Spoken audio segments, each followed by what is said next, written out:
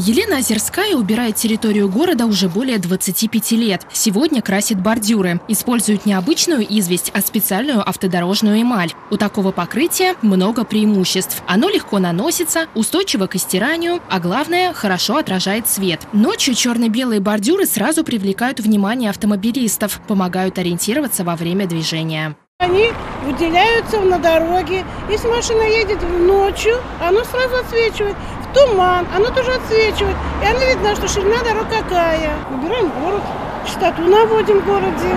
Нам даже самое приятно, когда люди проходят, и у них все чисто. Для города стараемся. На завершающей неделе месячника по благоустройству еще немало актуальных сезонных работ. Сотрудники муниципальных предприятий и других организаций, подрядчики совместно с жителями города продолжают наводить чистоту и порядок, заниматься озеленением. Перечень приоритетных работ обсудили на еженедельном совещании с первым заместителем главы Самары Владимиром Василенко. Высадка цветочных растений в открытый грунт началась на этой неделе. Сегодня наполняли цветники на улице Молодогвардейской, у здания Самарской губернской думы и возле фонтана в честь 30-летия Победы. В рамках подготовки к майским праздникам большая часть работ по высадке однолетних цветочных растений будет выполнена до 1 мая, оставшиеся до 9. Всего мы запланировали на этот период высадить порядка 6600 квадратных метров цветников.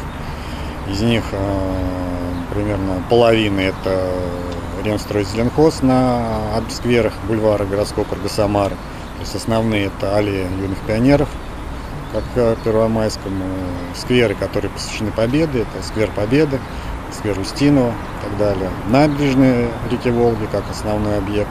Ну и э, парки Победы, парк 50 лет ВЛКСМ. С полным объемом задач по цветочному оформлению городских объектов намерены справиться до конца июня. Общая площадь цветников только с однолетними растениями составит около 30 тысяч квадратных метров, а с учетом многолетних – порядка 38 тысяч. Кроме того, на территориях скверов и на транспортных развязках в преддверии Дня Победы традиционно появится 18 искусственных топиарных тематических фигур. Их оформят в виде георгиевских ленточек. Такое преображение пойдет городу на пользу, уверены самарцы. Когда вокруг все украшено, цветет и благоухает, и настроение поднимается, и душа радуется. Есть такое выражение, как бытие определяет сознание.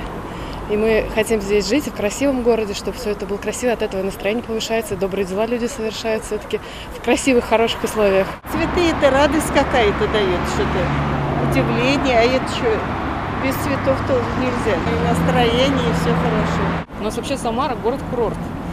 И туристов много, и жители э, хотят видеть красоту вокруг.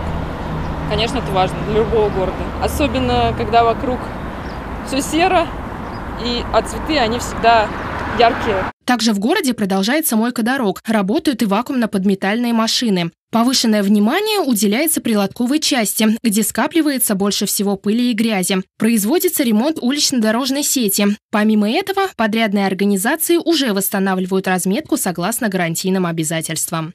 Ксения Баканова, Сергей Баскин, Петр Поломеев. События.